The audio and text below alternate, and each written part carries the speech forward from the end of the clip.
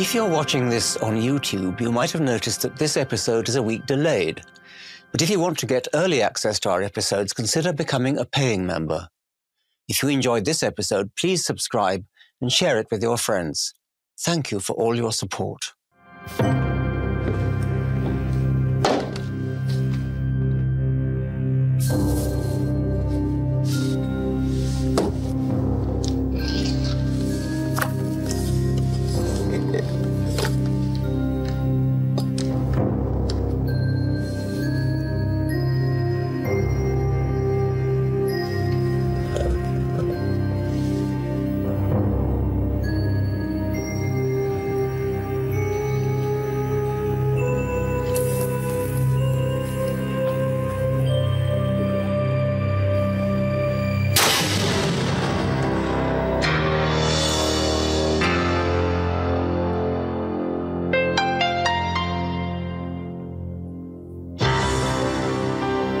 Richard Dawkins is a familiar name in science. In a string of best selling books, The Selfish Gene, The Blind Watchmaker, and recently, Climbing Mount Improbable, he has changed the way we think about evolution. This year, he became Oxford's first professor in the public understanding of science. And now, he wants to change the way we think about science. This is a very heavy ball. It's heavier than a real cannonball because it's made of solid lead. It's 10 times as heavy as a human head. Now, what I want you to do, stand back against this post, hold it against your nose, let go, and then stand in the same place. And because of Newton's laws and the law of conservation of energy, you can guarantee that that ball will stop short of your nose and not hurt you. Now, are there any volunteers to do the experiment? I'll have to do it myself.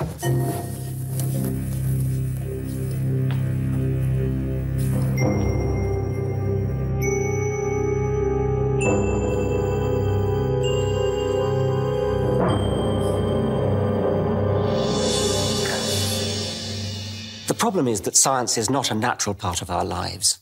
We should all know that there's no danger in that experiment. We should know the science that tells us so. But obviously, not all of us do. So, my purpose in this program is to show why science should become an integral part of all our lives. I hope to show you the dangers we face when we turn our back on science and embrace anti science. And the risks we run if we don't understand what science can do. But of course, the message isn't all gloom and doom, far from it. Science can offer the highest form of joy. You'll meet three colleagues of mine who had that once in a lifetime chance all scientists long for of shouting Eureka.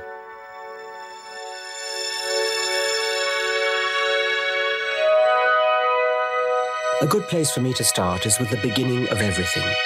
There is still a lot we don't know about the origins of the universe, and we must keep investigating but a broad picture of the evolution of life has emerged which is no longer open to reasonable doubt. The world is about four and a half billion years old.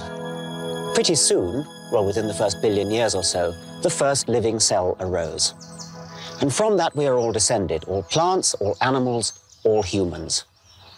That's an established fact. We're all cousins. Scientists accept it just as they accept that the world is round and not flat, and it orbits the sun and not the other way around. Not to believe it would be absurd.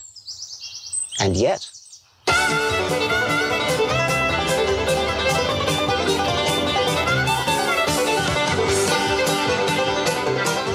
A few months ago, I went on a lecture tour of the United States.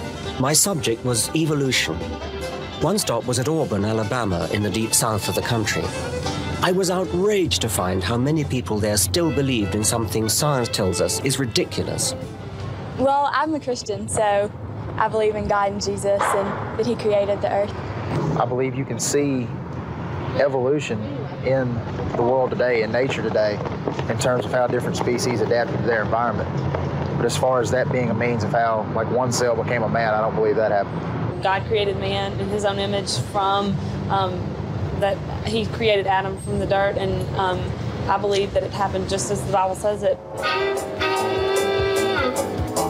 Before I reinforce too many prejudices about the Deep South Bible Belt, I should point out that beliefs on this issue are remarkably constant across the United States.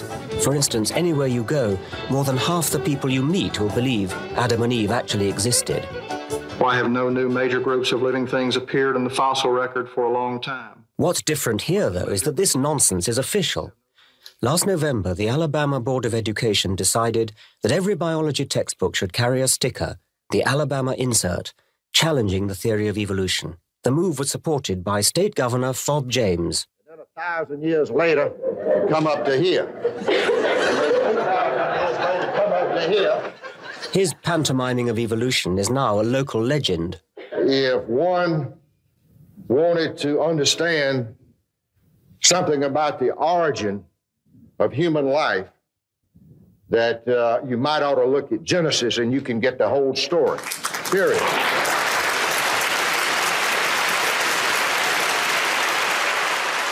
Here are just a couple of extracts from the insert that Governor James inspired. The first sentence refers to evolution as a controversial theory some scientists present as a scientific explanation for the origin of living things. And tells us any statement about life's origins should be considered theory, not fact.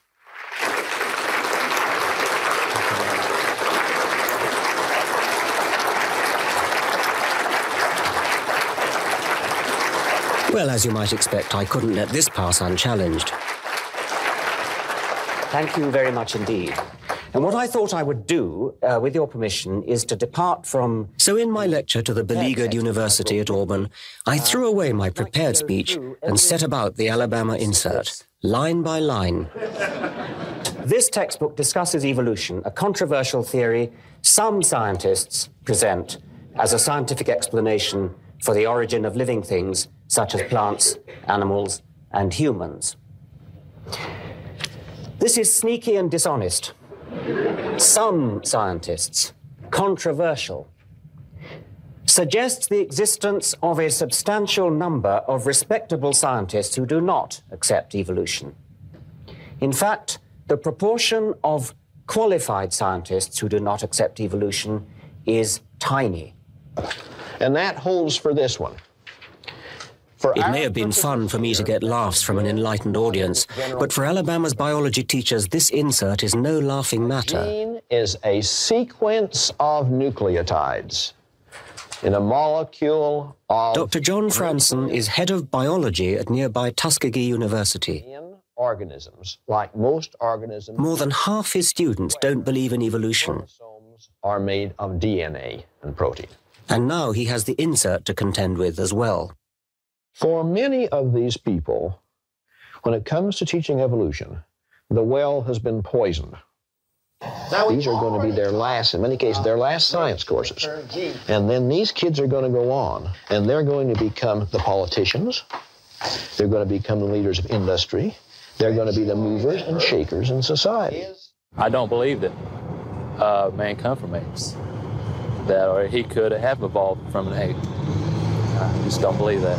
I like the idea much better that I came from Adam and Eve versus coming from an ape. So. and that's the bottom line. I agree. In the vast digital wilderness, there is a guardian that can keep your online journey secure and affordable. It is called Atlas VPN, and here is why you need it in your digital toolkit. So, first, Atlas VPN is a lot more than just your ordinary VPN. It's your shield. It stops ads, malware, malicious links, and trackers. So think of it as the immune system for all of your online adventures, keeping you safe from data theft. Now, for my fellow thinkers and seekers of knowledge, Atlas VPN has another trick up its sleeve. It also helps you save money while shopping online. So whether it's Netflix, Spotify, your next flight, or hotel booking, Atlas VPN helps you uncover all of the best deals. But the icing on the cake is that with just one subscription, Atlas VPN can protect all of your devices unlimited protection. So this is like having an army of digital bodyguards for your smartphone, your tablet, laptop, whatever else you can conceive of, which is awesome. And the best part is that Atlas VPN offers an incredible deal of just $1.83 per month, plus an extra three months and a 30 day money back guarantee. This is the steal for the kind of protection it provides, not just for your security, but for your privacy as well. And all of this for less than the price of a cup of coffee. Don't wait. Click the link in the video description below to take advantage of this limited time offer and secure your digital journey.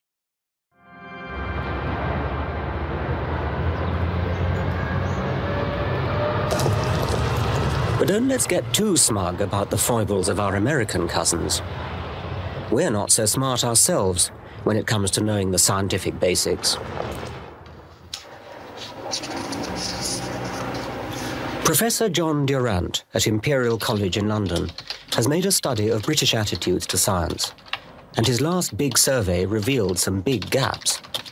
Only about a third of our sample knew that antibiotics, one of the most important classes of drugs, don't kill viruses, they only kill uh, bacteria. Uh, only about a third knew the Earth goes around the sun once a year. Uh, and less than half, actually, uh, in 1988, were able to say that DNA uh, is a substance that has to do with living things. And those, I think, are quite surprising and perhaps quite eye opening to scientists. I find this lack of scientific understanding worrying. And what's worse, as a society, we seem happy to tolerate such ignorance.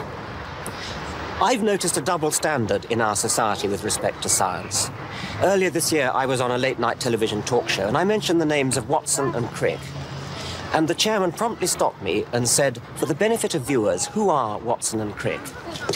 Now, if I'd said I'd just been to the Cezanne exhibition, she wouldn't have dreamed of saying, for the benefit of viewers, who was Cezanne. And that double standard matters. Not that we should value Cezanne less, but we should seek to value science more. No one knows that better than that great messenger of science, Sir David Attenborough. Now I'm getting up into the canopy, into the world of the birds of paradise. He feels strongly that a practical knowledge of science and its uses would benefit everybody. And here's the top. The birds are in another emergent tree just like this one, and I've got I've got an absolutely clear view of them.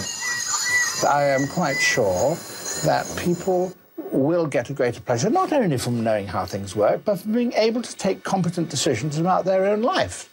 Uh, you ought to be able to know how to repair a fuse. Um, you ought to be able to know roughly what goes wrong with your car when something goes wrong with it. I confess I'm not very good at that myself. But, but you ought to have some idea as to, as to the way these things work. And, and that is science. The point is that this kind of ignorance means we don't understand what science can tell us and what it cannot. And that is serious because science is used by journalists and especially politicians to persuade us that they are right. The issue is no longer a question of the safety of British beef. The best available evidence demonstrates that British beef and beef products can be safely eaten by consumers both here and around the world. Do you believe him? You need to know a bit about science to be able to answer that. I don't mean the latest facts about BSE research, but at least enough about scientific method to know that you cannot claim certainty from science. Science can never say the evidence demonstrates, for instance, that beef is definitely safe to eat. It can only offer probabilities and explain where current evidence points. It's then up to us as individuals to decide what to do with that information. What's very important, I think, is that these decisions aren't left to scientists or politicians or committees of scientists and politicians and bishops. Um, those aren't the people that should be making these decisions. Society as a whole should be. And I don't think society can make those decisions in a sensible way unless they have a basic understanding about the principles of science. As a scientist, I can't help feeling we seem to have lost our reason and gone mad. Not only are we turning our backs on science, we're embracing the world of anti science. Everywhere you turn now, there are psychics, astrologers, and paranormalists offering tin pot comforts for those who need reassurance. The paranormal is taking over newspapers, TV schedules, and now apparently the high streets. You might think it's all a bit of a giggle. Well, I don't. It not only purveys a view of the world which is false, but it's also impoverished, poverty stricken. People who believe in it, and I've seen some of them in that shop, credulous, gullible people, are missing so much. I think the paranormal needs to be debunked, and I know just the man to do it. Give him a big hand. Ian Rowland is a psychic illusionist. He entertains audiences like this one at a London Students' Union, with phenomena of the kind regularly passed off as paranormal on TV shows. Sleight of hand or any trickery whatsoever. Watch. Just, just look at this. Say bend in your mind. Keep helping it to go all the way. He trained as a conjurer and won't tell exactly how he does his tricks. degrees, yeah? You see this clearly? okay, and we want it to do But he's absolutely clear about one thing. I don't have any psychic or paranormal abilities whatsoever. Uh, I always state this quite clearly at the beginning of a show. Now and again, somebody wants to uh, argue the point and make out that I really am psychic, but I'm pretending not to be. But the honest truth is, I'm as psychic as a teapot.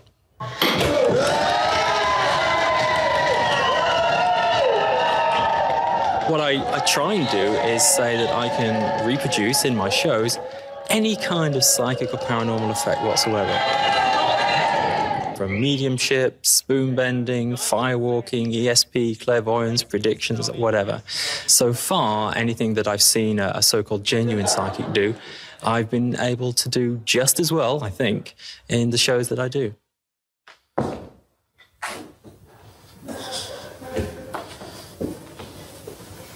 Like this, in which the blindfolded Ian has to find a member of the audience and stab a knife through the sign he's holding. For directions, he pretends to read this student's mind. No, if I get a reaction like that, I can hear and it's a giveaway. Please try your best not to flinch or move. Tracy, if you would just carry on forward, left, back, whatever. Ah. mm.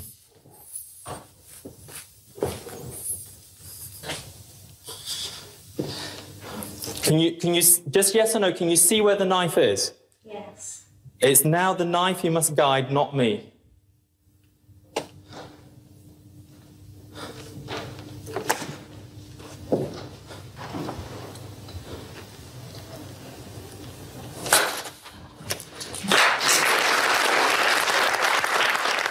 I'm absolutely and utterly positive there is no such thing as anyone with psychic abilities. You have to understand that this sort of thing has been around for hundreds and hundreds of years, and we still haven't found anyone who can demonstrate their so called psychic powers under common sense, scientifically controlled conditions. They can do it in a TV studio, in their homes, on a stage. That's easy. I can do that. But nobody ever has come forward who can demonstrate these so called abilities under conditions where you preclude the chance for trickery.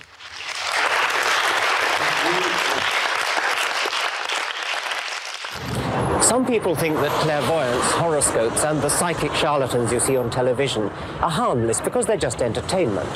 The danger is that people will come to take this sort of hocus pocus seriously, will actually believe in it, and then the danger is that it will undermine or weaken their grasp on reality. I wonder what the reality was for most of the people at this paranormal gathering. They'd come to be cured by a Brazilian psychic surgeon. He claims to be a medium using the powers of helpers from the spirit world. The psychologist Richard Wiseman went along uninvited and was shocked by what he saw. we went along to look at some psychic surgeons that were operating in the middle of London. Now, what these people were claiming was that no matter what the illness was, they could make various incisions into the body, release the bad spirits, and the person would get well.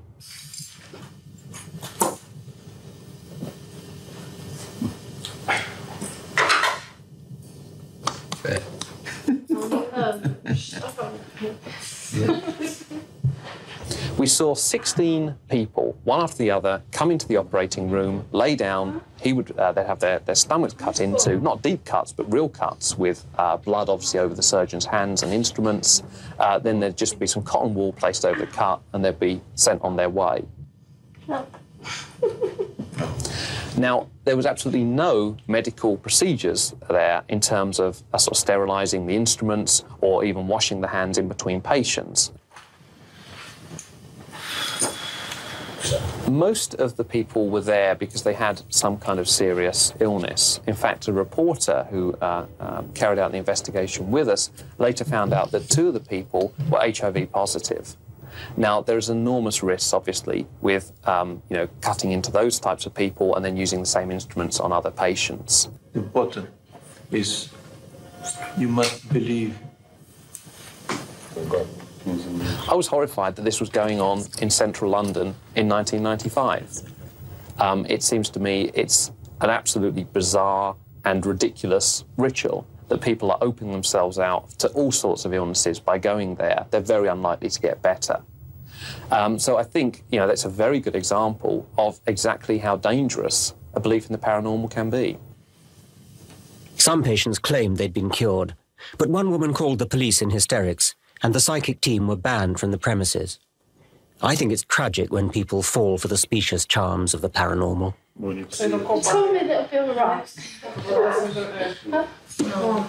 We scientists are clearly failing people if they think they need answers in the psychic world.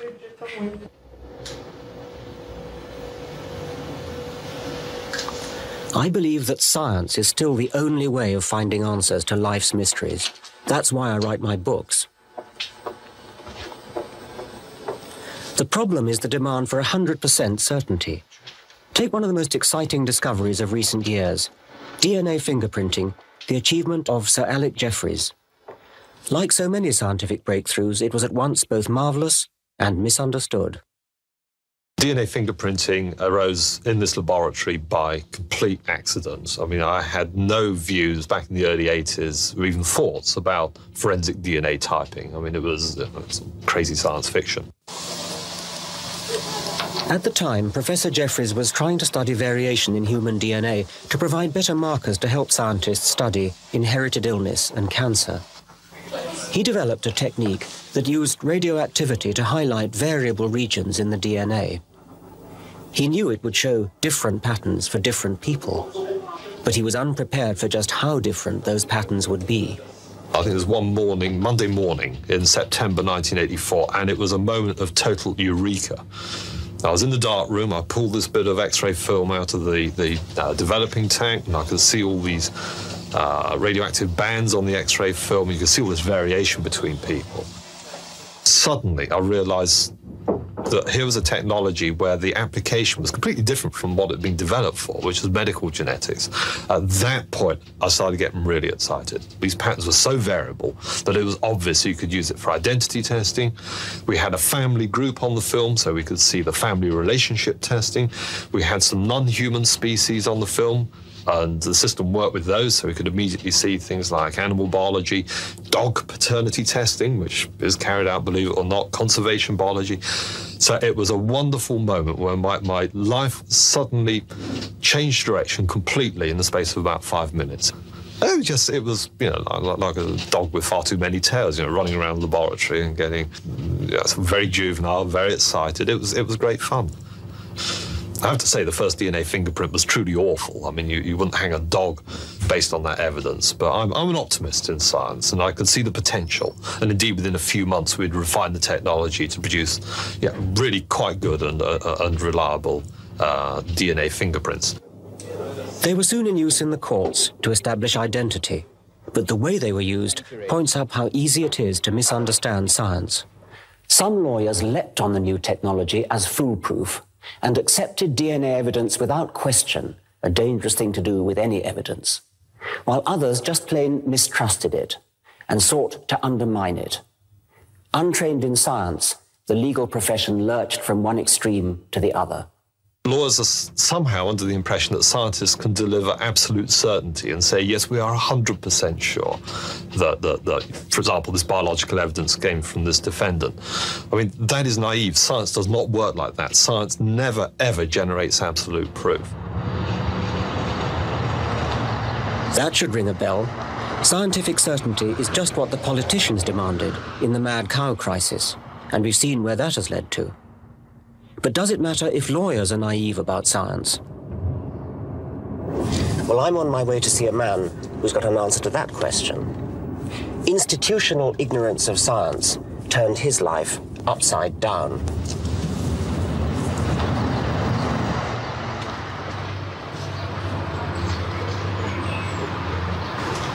When I realised what a life sentence meant was when I got to Wakefield, which was about a week and a half after conviction.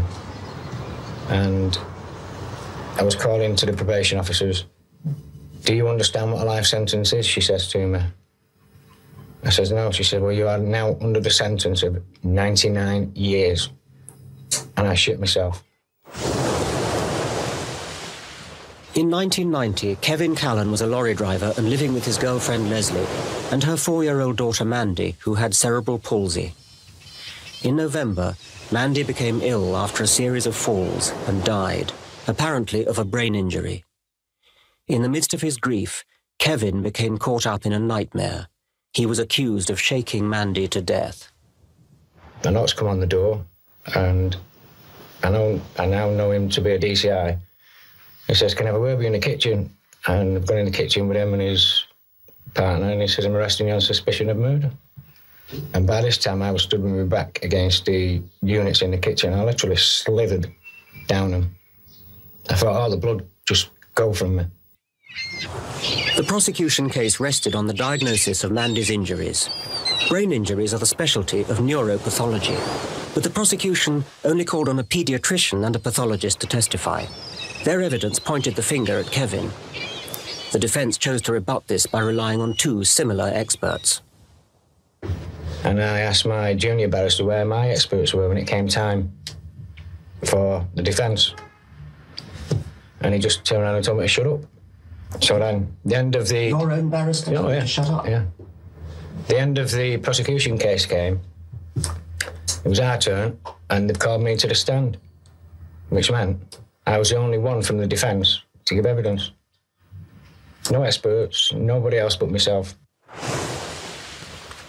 Kevin's experts weren't called because their diagnosis agreed with the prosecution. He was convicted and sentenced to life imprisonment.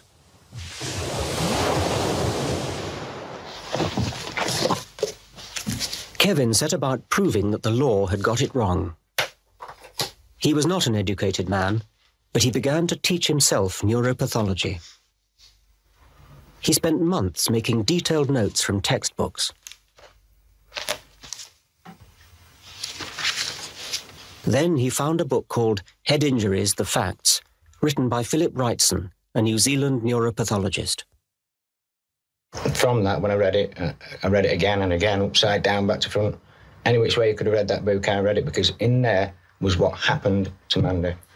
Judges. Kevin sent Professor Wrightson the details of the case, including the autopsy notes. This good doctor wrote back at once, demolishing the prosecution's scientific evidence. It was quite heavy in, in a condemnation of the evidence. Unjustifiable was one word. Of course, this is not so. Impossible to justify was another one. And they go on and on and on. Wrightson confirmed Kevin's story. For him, the evidence showed that Mandy had died from the fall, not from being shaken. Kevin was released and has since married Mandy's mother, Leslie. But an innocent man spent four years in jail because all the lawyers involved in his case did not realize a brain injury needs a brain expert until a new team took up his appeal. Nobody, absolutely nobody, had understood the particular expertise that was required in this case. The original solicitor, the original barristers on both sides did not appreciate this. The judge at the trial did not appreciate it. They're the ones who, as a defendant, or should I say ex defendant, who you place your whole, eh, well, yeah, literally your whole life in. And if they don't know what they're talking about, your case cannot therefore be presented in the proper way. There must be a very substantial number of people sitting in prison now who are sitting there because forensic science has played a major contribution in their conviction. And furthermore, that that forensic science may have been flawed. I suspect that if lawyers were more familiar with science, there'd be fewer miscarriages of justice. It's just another powerful argument for society to take science more seriously. There are so many reasons for making science a part of our lives, and I don't want to dwell on the negative ones. So let's get out of the courtroom and into something more rewarding. Join me after the break.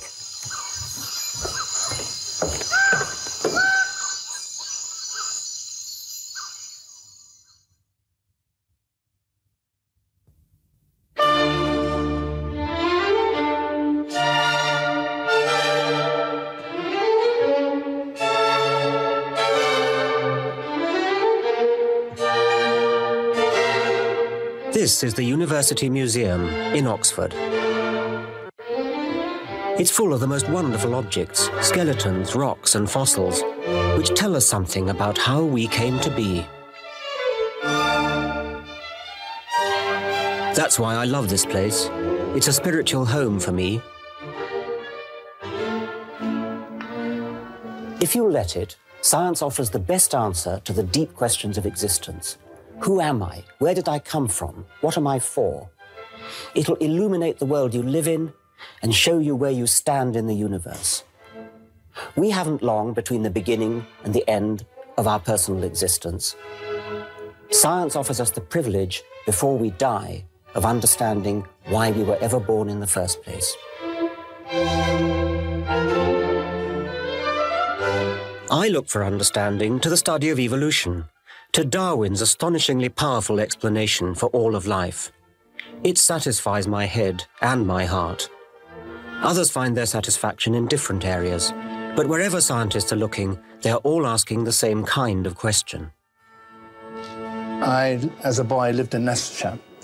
And uh, in, um, if you go to part of that Leicestershire, you can go into a quarry and you can find a stone. And if you knock that stone open, you see a seashell in the middle of it. And if you're a boy of reasonable curiosity, you say, How is there a stone with a seashell in the middle of it, in the middle of a rock? And you want to know why. Um, and that's how I became interested in natural sciences. Now, I may do a program about birds of paradise, uh, in which you are your mind is blown because birds of paradise do such extraordinary, wonderful, amazing, beautiful, astonishing, unpredictable things. It becomes science if you then say, why do they do those things? Why do they do them as a family only in New Guinea? Why is a family only in New Guinea? And why is it that birds of paradise have males only one out of a population will fertilize all the other females, and what are the consequences of that on the evolution of species? Then it becomes science. It is a question which anybody who is, starts off with that excitement about birds of paradise wants to know the answer, just as I did when I opened a rock and said, Why is there a shell? When we contemplate the colour, variety, and complexity of the living world, it's easy to understand the satisfaction a scientist gets from studying it. Equally, when we regard space in its lonely majesty, we can appreciate why astronomers devote a lifetime to exploring the stars and where they came from. Astronomy certainly has me hooked. Uh, talking about the immensities of the universe, not just the distances, but the number of stars that there are, stars like our sun, the possibility that there are other stars like our sun with planets, some of which might be inhabitable, some of which might be inhabited. So the idea that maybe we're not alone in the universe.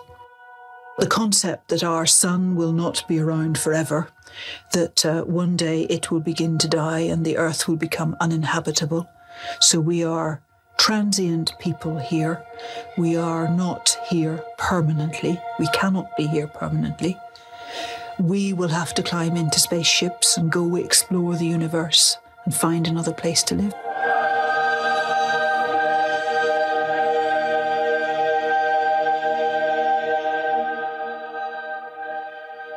Science doesn't have to be big to be beautiful, or even beautiful to be rewarding. These tiny, apparently unprepossessing insects are a case in point. They're fruit flies, and they're full of secrets.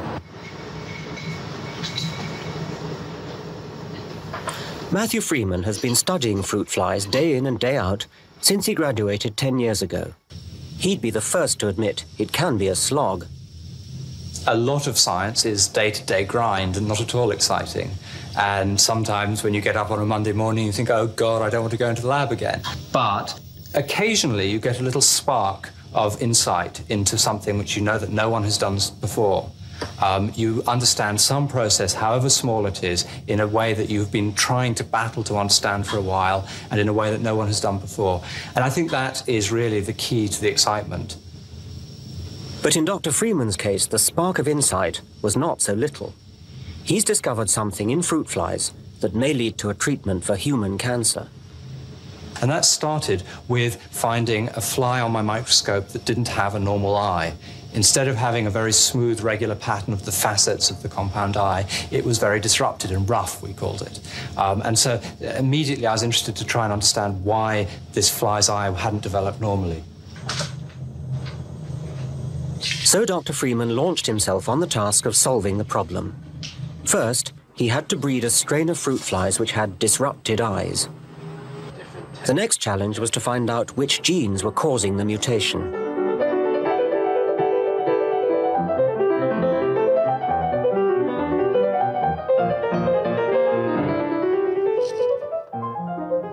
Then, when he and his team knew roughly what they were looking for, they analyzed the actual genetic code in a process rather like genetic fingerprinting.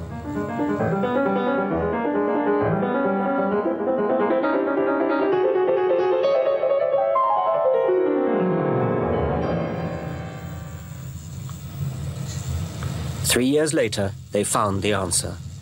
The development of eye cells was controlled by a type of protein called a receptor. If this was overactive, it produced too many eye cells, giving the disrupted eye Dr. Freeman had seen under the microscope.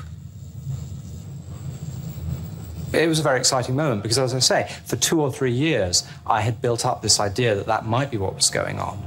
And so, when at the moment when I really started to allow myself to believe it, was therefore tremendously exciting. Of course, the health of his fruit flies wasn't what was exciting Dr. Freeman. He takes the view that one cell works pretty much the same way as another in fruit flies, chimpanzees, or humans.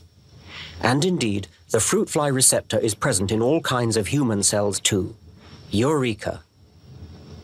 When that receptor is overactive in humans, that causes cancer. So having started with nothing but looking under my microscope at a fruit fly with a, with a disrupted eye, which doesn't have its normal, nice, smooth eye pattern, I've come up with this protein that may, in the future, be important um, in understanding and treating human cancer. Most of us couldn't do this. Probably wouldn't want to spend hours and hours in the lab with a lot of flies. But you don't need to be a scientist in order to appreciate science any more than you need to be a novelist in order to appreciate novels. I write the books that I do because I want to share my love of the natural world. As Carl Sagan said, not explaining science seems to me perverse. When you're in love, you want to tell the world. And many scientists like me have tried to tell the world, though even their best selling science books don't grab the headlines like novels. This collection belongs to my friend Douglas Adams, creator of The Hitchhiker's Guide to the Galaxy. Douglas was an English graduate, but these days it's not great novels he turns to first. Uh, I think I read much more science uh, than novels. I think the, you know, the role of the, the, novel has changed a little bit. You know, in the 19th century, the novel was where you went to to get your sort of serious uh, reflections and questionings about about life. You get Tolstoy and Dostoevsky. Uh, nowadays, of course, uh, you know the, the, scientists actually tell us much much more about uh, such issues. Um, than you'd ever get from novelists. So I think uh, you know I, I uh, for for the the real sort of solid red meat of what I read, I'll go to go to science books and you know read sort of novels as light relief. So let me ask you, what is it about science that really gets your blood running? The world is is a thing of of utter, inordinate complexity and richness and strangeness um, that is absolutely awesome. I mean, the idea that such complexity can arise not only out of such simplicity, but probably absolutely out of nothing is the most fabulous, extraordinary idea. And once you get some kind of inkling of how that might have happened, it's, it, it, it's just it's just wonderful. Um, and I feel that uh, you know the opportunity to spend um, 70 or 80 uh, years of your life uh, in such a universe is time well spent, as far as I'm concerned. I quite agree, which brings me back to my passion, evolution. I never stop being amazed by the immense age of our world and what it means. I've tried to pass this on to others. Today, I'm visiting pupils at an Oxford school. I hope they, and you, share my enthusiasm. Right, does everybody know what evolution is, very roughly? Have you ever heard of it? Yeah. yeah? It's, it's why we're all here. It's where we come from. Because way, way, way, way back, we all started as bacteria. And then as the generations went by, we got bigger and bigger and cleverer and cleverer. And we went through all sorts of stages gradually until now we're like we are now. So first we want somebody to be themselves today. Who would like to be themselves today? Okay, would you like to stand here? Now I'm going to make one meter equal one millennium. So one millennium back, that's one meter. Do you know who we get back to? They're about William the Conqueror. So would, would you like to be William the Conqueror? Okay. Okay, now, who wants to be Jesus Christ? I think let's have a girl for Jesus Christ, shall we? What about you? So you stand another millennium back. And so on until all 5,000 years of recorded history, back to the earliest Babylonian civilization, were represented by six children a meter apart. But we needed to go back further into evolutionary history.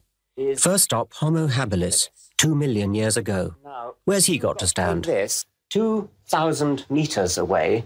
That'll take you sort of roughly the top of Headington Hill. OK, off you go.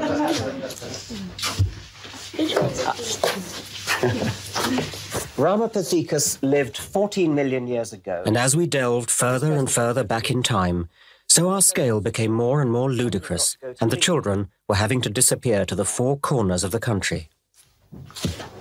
Oligokyphus, Ipswich.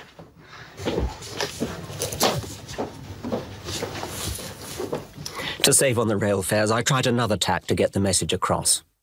So what I want you to do is to hold out your one hand, it doesn't matter which, let's say your right hand, all right? And the distance from your middle to the tip of your finger represents all the time since life began. That's 4,000 million years. Can anybody guess roughly where, say, the dinosaurs were on this scale? Yes. Yeah, that's not bad. It's surprisingly recent. And all of historical time, that's Jesus and King David and the pyramids and ancient Babylon, the ancient Egyptians, all that time, everything you've ever learned about in history, where do you think that would come? This far away from your tip of your finger no, or something like that. It's much, no, no, it's much further than that. Why do you think I handed out those nail files? You get your nail file and get your middle finger and just do one stroke of the nail file and look at the dust that falls from your nail. And you might see a few grains of dust that fall from the tip of your nail. And the whole of human history has fallen in the dust from one stroke of the nail file. I thought it was really interesting. Um, it's sort of not really like some talks I've been to, which just really boring. It was really fun, but it gave us a lot of information as well. I didn't actually realise that my relatives were bacteria. If you just take a nail file and do that, and that's how long the, the human race has been alive, I was really surprised about that. I thought the human race had been alive for since the beginning of things have been alive.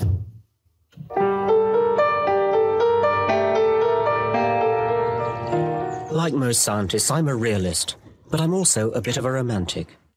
It's something I share with my wife, Lalla Ward, who now illustrates my books. I appreciate that there are people who think they need something more than science can offer, something frankly undefinable. But I think science does offer all we need, not just to understand the how of life with its great richness and complexity.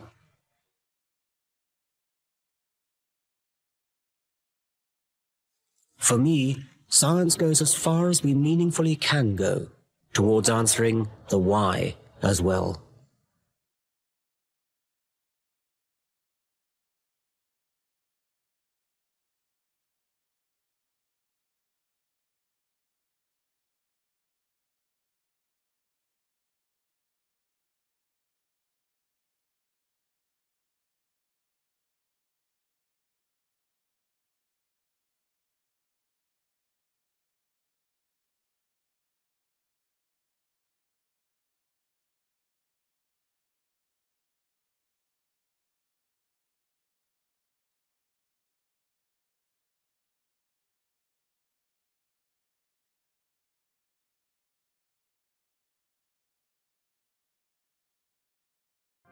If you enjoyed this episode, you can show some support by subscribing to the podcast, sharing it with your friends, and leaving a review.